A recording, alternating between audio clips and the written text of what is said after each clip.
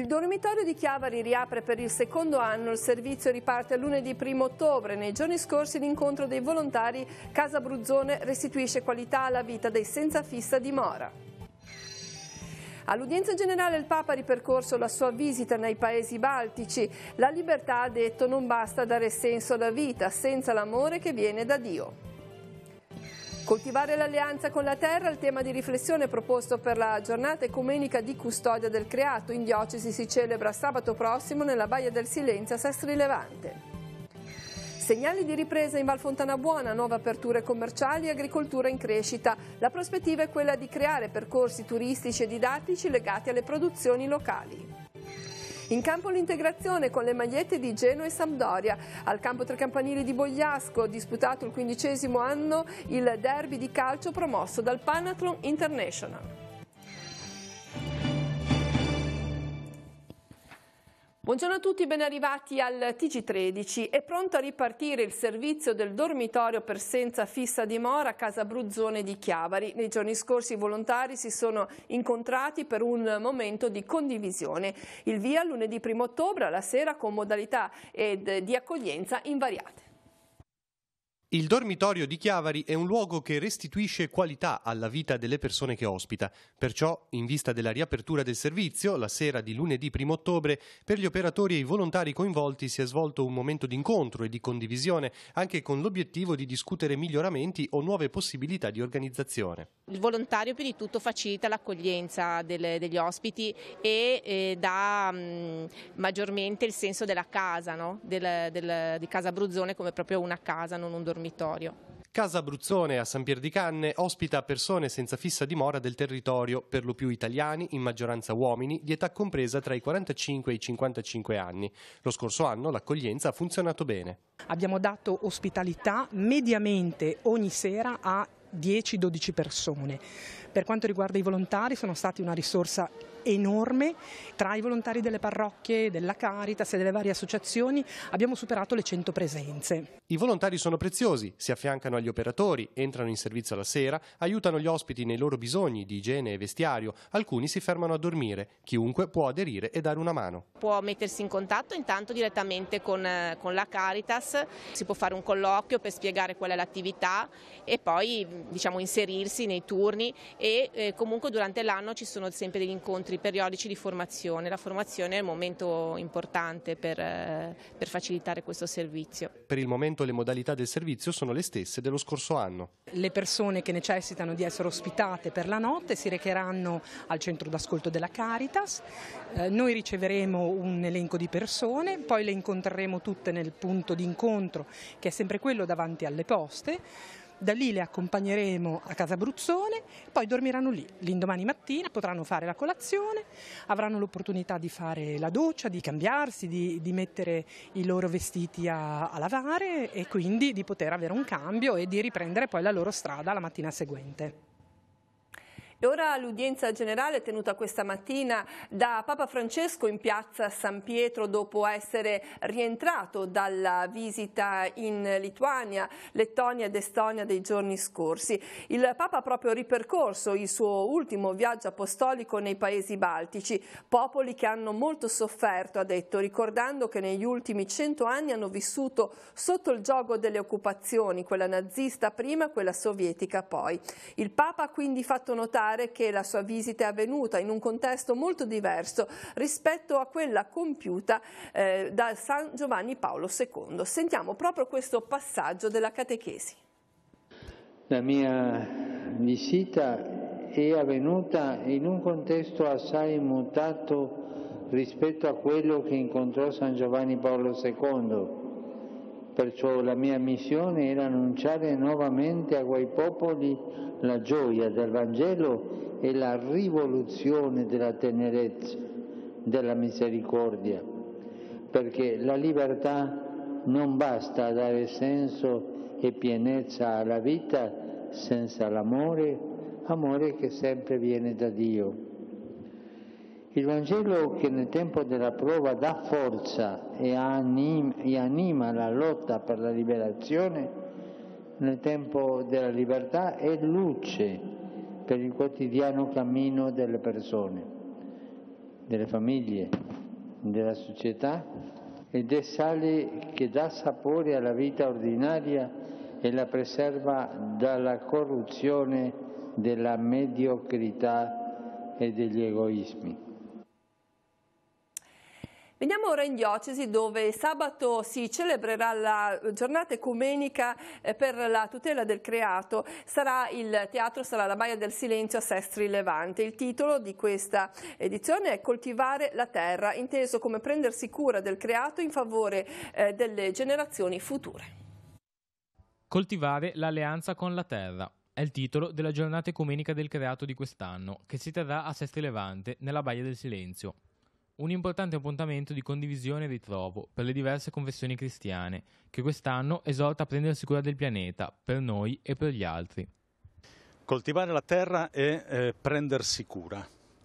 La parola coltivare significa proprio questo, è quello che il contadino ligure fa con la poca terra che c'è a disposizione, curarla perché possa rendere il massimo senza eh, renderla sterile la terra ci è stata donata, è un dono di Dio, non soltanto a noi, ma a tutta l'umanità e non solo alla generazione attuale, ma a tutte le generazioni.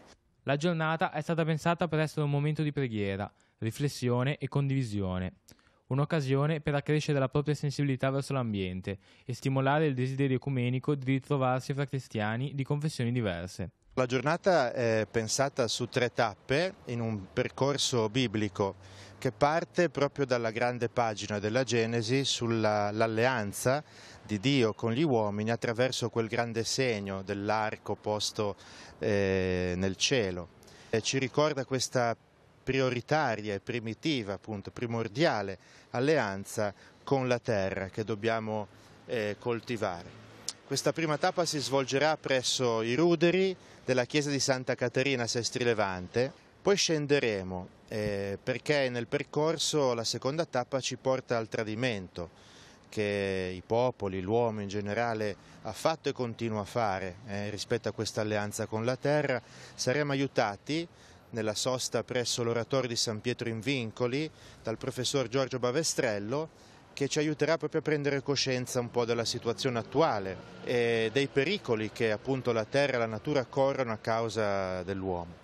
E poi la risalita, dove concluderemo la terza tappa presso il convento dei frati Cappuccini e lì sarà la tappa della vita nuova. Questa mattina è arrivata la risposta dal Comune di Lavagna sui ritardi dei lavori di messa in sicurezza delle sponde del fiume Entella lato Lavagna. Ad oggi, si legge nel comunicato, è in corso la progettazione definitiva dell'opera tenendo conto di varie prescrizioni come quelle della sovrintendenza e dei vincoli ambientali. Le arginature dovranno essere realizzate con criteri di massima compatibilità ecologica nel rispetto della natura e delle specie animali segnalate, confermi biologici nei periodi più sensibili per quest'ultimo ultime. L'iter per l'autorizzazione complesso, spiega il Comune. Dopo il via libera del, al progetto definitivo si passerà alla redazione di quello esecutivo, alla gara d'appalto per l'affidamento dei lavori. Nel frattempo sarà cura del Comune mantenere in sicurezza l'accesso alla pista ciclabile. L'opera ha un costo minimo presunto di 650.000 euro per un tratto di circa 220 metri. La Regione ha già stanziato 420.000 euro e il Comune di Lavagna ha anticipato le somme per l'affidamento degli incarichi di progettazione. Per la seconda volta in pochi mesi a Gattone si è assistita all'inaugurazione di un'attività che vede affiancate due note aziende del territorio, un segnale di speranza per una valle, la Fontana Buona, che negli anni ha assistito ad un progressivo impoverimento del tessuto economico e commerciale. L'ambito dell'edilizia e degli arredi cerca di adeguarsi ai tempi e di rinnovarsi. Anche il comparto agricolo sta dando soddisfazioni.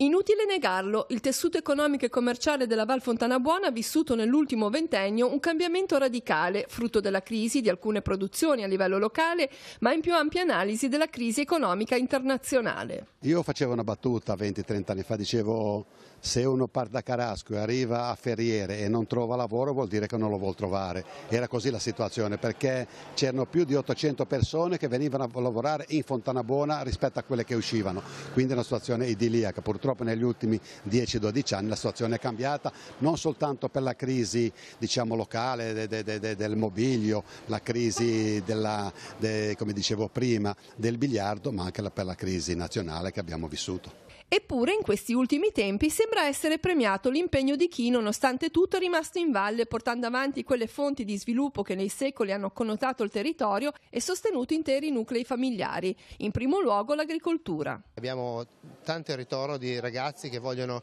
investire in agricoltura. Guardi, eh, abbiamo a 360, abbiamo parlato del progetto delle nocciole che, che è stato importantissimo con valorizzazione da parte della, della, Camera di Commercio e adesso stiamo accingendoci alla raccolta del, delle olive e questi siamo molto contenti, dovrebbe essere un'annata positiva e propizia come lo scorso anno. L'orientamento anche a livello nazionale è quello di valorizzare anche piccole produzioni di nicchia attraverso percorsi turistici e didattici. La possibilità per le aziende vitivinicole e per le cantine di eh, diversificare il loro lavoro, quindi organizzare anche visite guidate, degustazioni, attività didattiche e questo dovrebbe garantire non solo visibilità ma anche un, insomma, un, un introito aggiuntivo. Eh, stessa cosa noi vorremmo fare con eh, l'olivicoltura ma anche con la floricoltura, cercheremo di eh, provare a garantire dei percorsi enogastronomici ma legati a tutto il mondo produttivo eh, ligure, eh, quindi parlando di agricoltura e anche di pesca per garantire garantire un valore aggiunto alle nostre produzioni. Rimaniamo in tema parlando di olivicoltura, vediamo quali sono le ultime indicazioni in merito al trattamento con prodotti larvicidi per contrastare l'attacco della mosca olearia. Come vedete pubblicato sul nostro sito l'infestazione risulta sotto controllo per chi ha effettuato il secondo trattamento larvicida, per chi invece non avesse provveduto si consiglia la raccolta anticipata. Nelle zone del primo entroterra sino ai 200 metri sul livello del mare è consigliato il trattamento con mezzi larvicidi per chi non l'avesse fatto la settimana scorsa. Per i proprietari di uliveti sopra i 200 metri è consigliato di attendere. E in merito invece alla coltivazione del nocciolo, la Proloco di San Colombano lancia il primo corso di coltivazione del nocciolo con recupero dell'esistente e nuovo impianto. Sabato 6 ottobre nei locali dell'Ascito Cunea Calvari si svolgeranno al mattino dalle 9 alle 13 lezioni teoriche e dalle 14 alle 18 pratiche in noccioleto. Il corso è tenuto dall'agrotecnico Fabio Benvenuto. Si completerà sabato 13 ottobre con altre 4 ore di pratica in noccioleto dalle 14 alle 18. Le iscrizioni dovranno eh, pervenire alla Proloco di San Colombano Certenoli entro il 4 ottobre. Il Consorzio Rurale di Scaruglia a San Colombano ha rinnovato il consiglio direttivo. Nell'ultima riunione è stata ratificata l'elezione del presidente Ernesto Volpone che subentra al dimissionario Claudio Solari. Solari resta come consigliere del direttivo mentre la carica di vicepresidente va ad Anna Aste. Rinnovate anche le cariche del collegio dei revisori dei conti. Ora sfogliamo le pagine dei quotidiani, poi tutte le altre notizie allo sport. I giovani chiedono una chiesa nuova. Con le parole del Papa si apre la prima pagina di Avvenire. Violenze, è finito il tempo del silenzio, dice Papa Francesco di ritorno eh, dai paesi baltici. Risponde ai giornalisti: in Cina nessuna resa, le nomine le farà Roma. Il rapporto in vista del Sinodo, futuro della fede in gioco, una frattura da chiudere. E poi ilarità all'ONU per l'autoesaltazione del Presidente degli Stati Uniti che tra le altre cose si scaglia contro l'Iran e le Nazioni Unite aiuti a chi ci rispetta. Genova flop sul decreto, mancano le coperture, Palazzo Chigi però dice tutto chiarito, per il crollo accuse alle autostrade, allarme sottovalutato. E per la manovra economica, per la legge di stabilità, Di Maio a marzo via al reddito di cittadinanza. All'interno di Avvenire gli sfollati del Monte Serra nel Pisano, un inferno in fumo 600 ettari, 700 senza casa, un blitz studiato a tavolino per i piromani, lunedì ore 22 le fiamme, poi il vento ha fatto il resto, il sindaco di Calci ci vorranno 30 anni perché tutto torni come prima, le parrocchie si mobilitano per gli sfollati, l'arcivescovo dice peccato era una zona da poco rivitalizzata. E veniamo al secolo XIX, decreto l'ultima beffa, Genova aspetta ancora e vediamo alcuni eh, familiari delle vittime davanti al Palazzo di Giustizia di Genova. Chi guidava sul ponte lo testava senza saperlo, il report della commissione ministeriale. Poi un'intervista a Gozzi, Antonio Gozzi come presidente di Federacciai, Ilva meglio italiana, Marcelo Mittal la farà crescere. Il salone nautico a quota 175.000 ha dato un sorriso ai genovesi e poi dal nostro territorio Santo Stefano sciatore fu ucciso da Slavina, reato e prescritto, vediamo nelle pagine del Levante. Si tratta della morte di Marco Corvisiero avvenuta il 30 gennaio 2011, reato in prescrizione non ci sarà appello. Stamane all'udienza a Genova in cui sarà ratificato il nuovo luogo a procedere a carico dei tre imputati familiari risarciti. Il papà però della vittima del maestro morto indignato da questi giudici. Ancora dal Levante, pesce all'estero, il Levante di Cenni, la marineria in crescita ma la clientela al fresco locale preferisce il prodotto già pronto e pulito anche se arriva da fuori, 70-80% il livello raggiunto dalla importazione di pesce all'estero secondo il report eh, su base eh, dei dati Istat, un milione le tonnellate di pesce importato, 180.000 le tonnellate pescate in Italia. E dal Tiguglio dicono una barca di Sestri ha pescato 300 casse di acciughe, 100 le ha vendute, il resto addio. A Camorra mogli invece si vendono solo specie locali e non di allevamento, prezzo e qualità vanno insieme.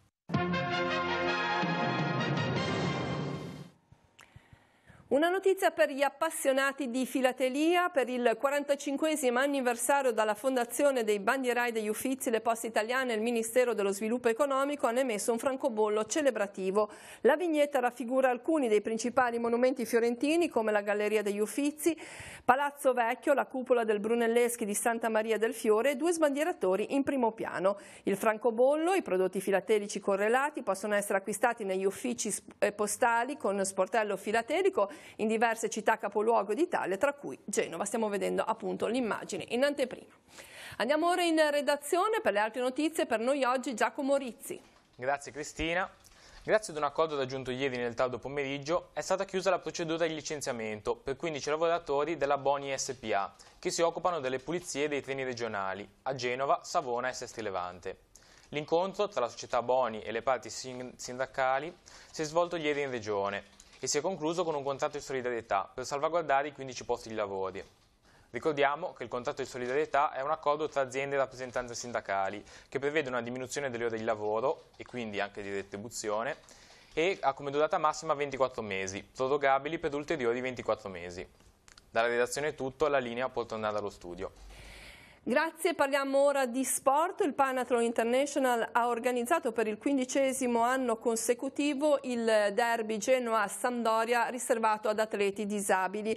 Il match si è disputato a Bogliasco, un modo per abbattere barriere e pregiudizi attraverso lo sport che permette a tutti di divertirsi e provare emozioni della stessa intensità. Sentiamo alcune impressioni.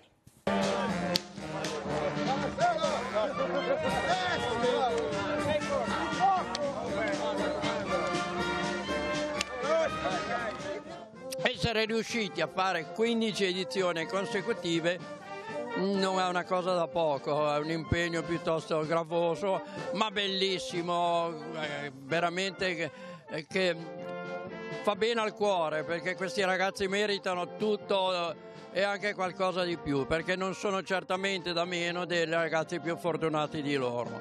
Ecco. Perché sei partito con questa iniziativa? Ho pensato che non è eh, essere un club del Panatro non deve limitarsi a delle cene, a delle conviviali, ma deve fare qualcosa di più, eh, di più valido. Allora ho pensato a questo, al concorso scolastico, a un'ora per i disabili dove andiamo nelle scuole. Ecco, tutto questo penso che sia che rispecchi veramente eh, eh, le finalità del Panatro.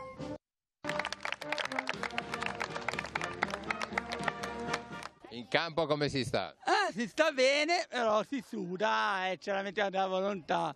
Ti stai divertendo in campo? Sì, me ne poggio.